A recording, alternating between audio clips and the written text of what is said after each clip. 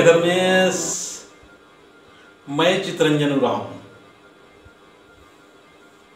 मैं ऐसे टॉपिक्स में आज बात करने जा रहा हूँ कि आदिवासी समाज के महिलाएँ शराब क्यों बनाती हैं?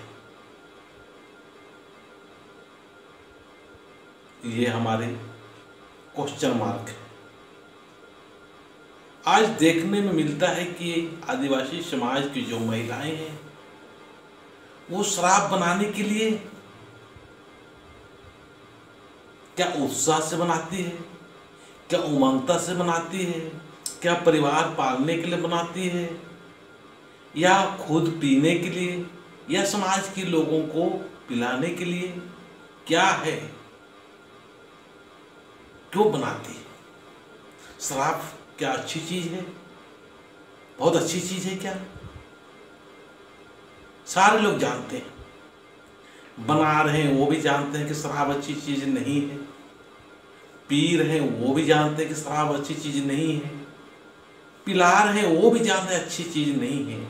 फिर ये शराब हम सारे को गुलामी कैसे बना रखा है? हम सारे लोग इनकी बुराई के बारे में जानते हैं। मानते हैं, स्वीकार करते हैं, सब कुछ तो हम जानते हैं। चाहे छोटे हो, चाहे बड़े हो, चाहे पी रहे हो, चाहे नहीं पी रहे हो, सारे लोग जानते हैं कि ये शराब बहुत ही हमारे समाज के लिए खराब है। अच्छा नहीं है, फिर भी आज हमारे समाज की माताएँ ही इस शराब को बना रही है। देखिए हमें माताओं से कहना चाहूँगा, हमारे समाज के वाहनों से कहना चाहेंगे बहन जी ये जो शराब है, आप याद करो। ये शराब जो हम बना रहे हैं, उसके पीछे अच्छाई भी है, वो अच्छाई तो क्या है कि हमारा जीव का चल रहा है और उसको पीने के बाद में हम लोग मस्त होते हैं। उसको पीने के बाद में शराब जो आता है, हमारा संगठन दिखाई देता है। हम एकत्रित हो जाते हैं। नहीं, आने वाले आदमी भी आ जाते हैं।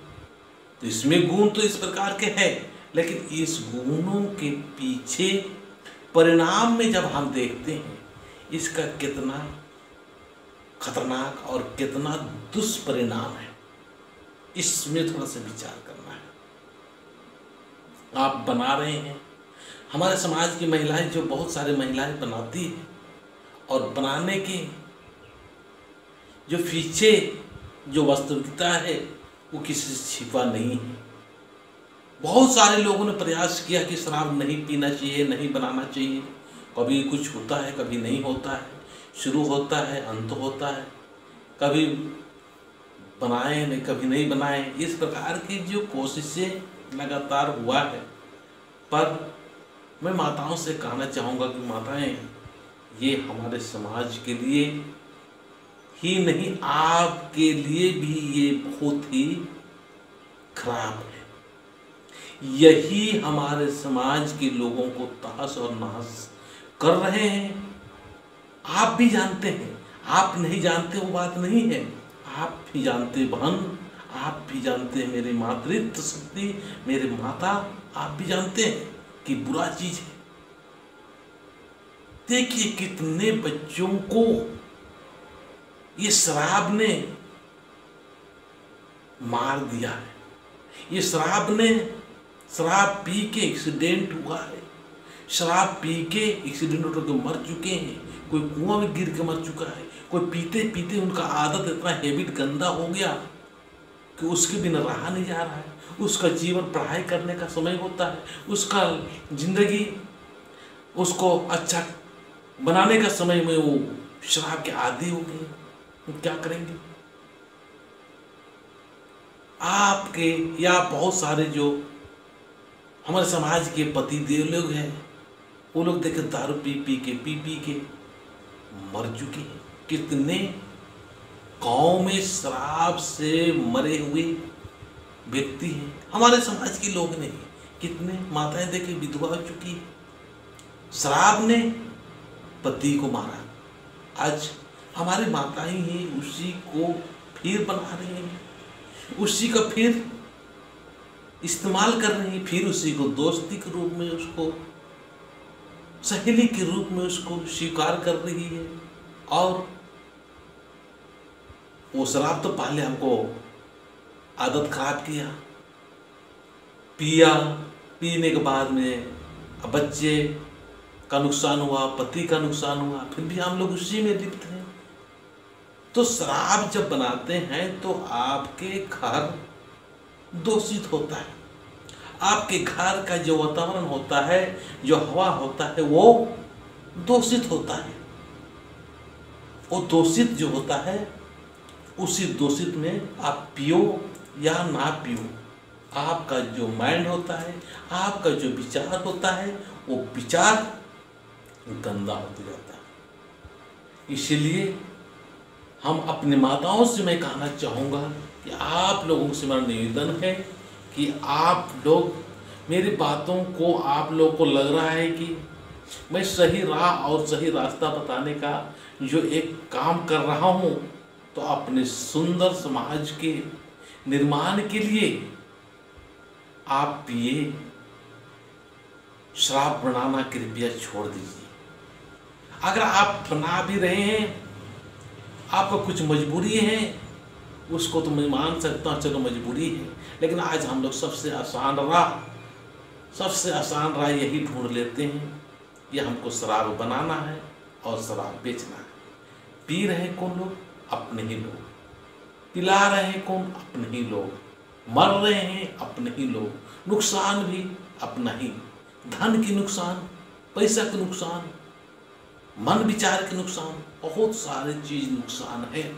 और नुकसान होते हुए, जानते हुए भी छोड़ नहीं पा रहे तो इस समाज को आप ही लोग मातृत्व, शक्ति या हमारे माता और बहनें, आप ही लोग हमारे समाज को सही दिशा दे सकती अगर आप लोग, सारे लोग जो मेरी बातों को सुनेंगे, उनसे मैं चाहूँगा कि आप धीरे धीरे धीरे धीरे आहिस्ता आहिस्ता प्राण कर लीजिए कि हमारे समाज का ये दुश्मन है, इस दुश्मन को किसी भी हालत में छोड़ देंगे।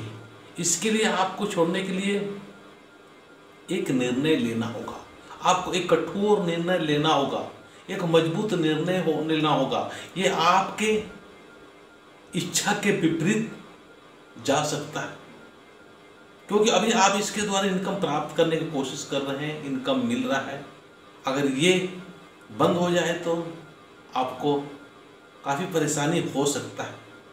लेकिन जो इसके द्वारा पी पी के मर रहे हैं, इसके द्वारा लोगों का जो नुकसान हो रहा है, समाज का जो नुकसान हो रहा है, ये बहुत जघन्य अपराध और पाप समान है। इस चीज़ को समझिए। बहुत ही गलत चीज़ है। इसीलिए आप लोग मत बनाइए। और मैं चाहूँगा कि आप लोग के पास में जो बनाने वाला सामान है, उनको भी तोड़ फोड़ फेंक फाक दीजिए। मत बनाइए मत बनाइए कृपया। मुझे अपने समाज के लोगों को मतवार खतवार देखता है दर्द बहुत होता है। आप लोग को भी दर्द ज़रूर होता होगा। सारे लोग यही कहते हैं, हमारा समाज को आज दारू ने बर्बाद कर रखा है। बर्बाद किसने किया है आप लोगों ने। हम लोगों ने। और माताओं से कहना चाहेंगे कि आप लोग मत बनाइए। मत बनाइए। हाँ हाँ हम जानते हैं कि आपके पुरुष आदि हो चुके हैं। बच्चे आदि हो गए कहीं से भी ला के पिएँगे वो पीने दीजिए। पर थोड़ा बहुत कंट्रोल ज़रूर होगा। लेकिन आपके बनाई हुई शराब से तो मतवार नहीं होगा। आपके पिए बनाए हुए शराब को पीकर वो मरेगा तो नहीं ना, आपको पाप तो नहीं पड़ेगा। अगर आपके बनाए हुए दारू पी को कोई एक्सीडेंट कर रहा है, या मर रहा है, किसी का घर उजड़ रहा है, उनका बच्चा अनाथ हो रहा है तो आप भी पाप के भागीदारी है। शराब बनाना बहुत ही पाप काम इस चीज़ को समझिए। जीवन क्या है? आज ना कल कल हम लोग, हमारा जीवन चले जाना है। जीवन है, मृत्यु दोनों साथ में चलती रहती है। आपके पास में जो साधन है, उसका सही उपयोग कीजिए। पैसा का सही उपयोग कीजिए। कम खाइए। लेकिन सुख से ज़िंदगी जिए और ये हमारे समाज का जो दुश्मन है, इस दुश्मन को मत पालिए, मत संभाल के रखिए। चलिए मैं बीच बीच में आप लोगों के पास में आते रहेंगे। शराब बनाने वाले बहन लोगों से और आ, हमारे मातृ शक्ति जो है उनको ज़रूर दुख लगेगा लेकिन मैं अपने समाज के हित के लिए थोड़ा कड़वा घूट या इंजेक्शन देने का काम कर रहा हूँ। अगर मेरी बातों में आप सहमत हैं तो ज़रूर इस बात पर अमल कीजिएगा। और अगर फिर भी लगता है कि ये सब नहीं हो सकता है, बहुत लोग कहते हैं कि ये सब हमारे समाज के लोग शराब नहीं छोड़ सकते हैं। और सही बात भी ऐसा लगता है कि नहीं छोड़ सकते हैं। लेकिन हम सारे लोग तो नहीं, कुछ न कुछ अगर हम लोग इस प्रकार के माहौल तैयार करने की कोशिश करेंगे तो हम अच्छा माहौल बना सकते हैं। अच्छा माहौल कर सकते हैं। अपनी तरफ़ से हम अच्छाई की ओर कुछ न कुछ लोगों के जीवन को परिवर्तित और बदल सकते हैं और हम सारे को इस प्रकार के पहल करने की आवश्यकता है। होना नहीं होना, परिणाम क्या होगा नहीं होगा, उसका चिंता। परिणाम उनके ऊपर है, भगवान के ऊपर है, धर्मेश के ऊपर है। अपना काम है करना, सही काम करना, सही मार्गदर्शन करना और सही चीज़ों को बताना। बाकी क्या होगा, नहीं होगा, उसका तो भाई हम और आप नहीं कर सकते हैं। परिणाम हमारे हाथ में और आपके हाथ में नहीं है। तो चलिए आप लोगों को ये वीडियो देखकर ज़रूर दुख लगेगा।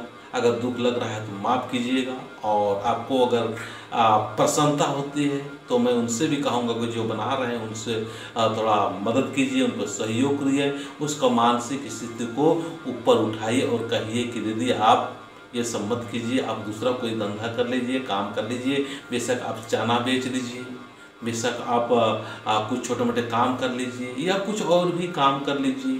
गाय पाल सकते हैं बकरी पाल सकते हैं और भी चीज़ है ये